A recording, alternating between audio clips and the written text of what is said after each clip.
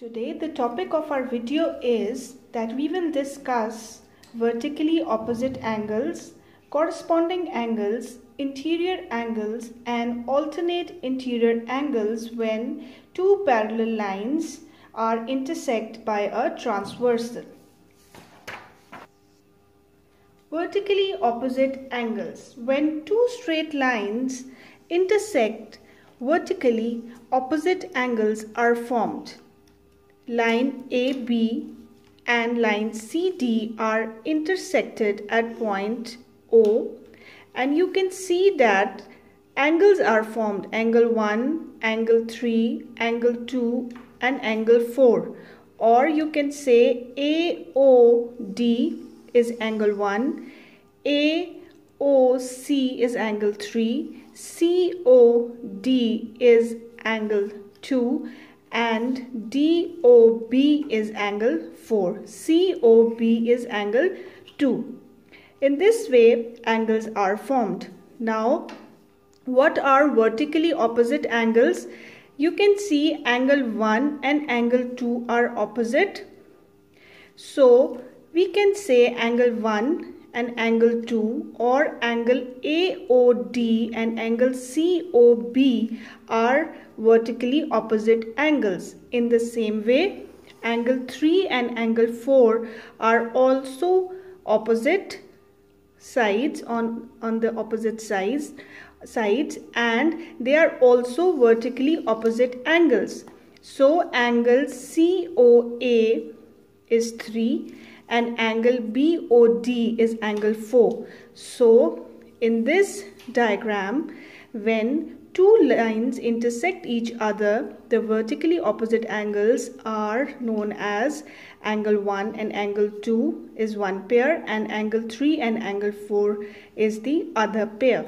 Corresponding angles when two parallel lines are intersected by a transversal corresponding angles are formed line M and line N are intersected by a transversal L and M and N are parallel lines. So the angles are formed. Angle 1 angle 2 angle 3 and angle 4 are formed at the point um, where the transversal intersect the parallel line M and 5 6 7 and 8 angles are formed on the parallel line N where the uh, transversal has intersected it. Now, the, now what are the corresponding angles?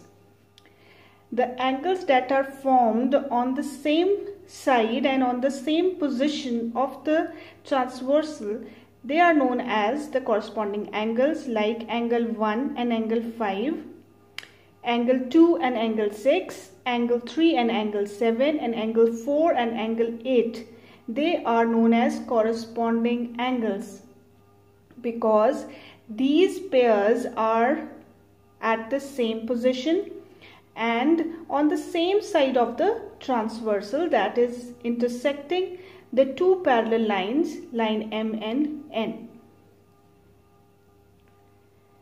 Now the concept of interior angles when two parallel lines are intersected by a transversal in this way, the angle 1 and angle 3 and angle 2 and angle 4 they are known as interior angles because they are on the same side of the transversal and they are inside.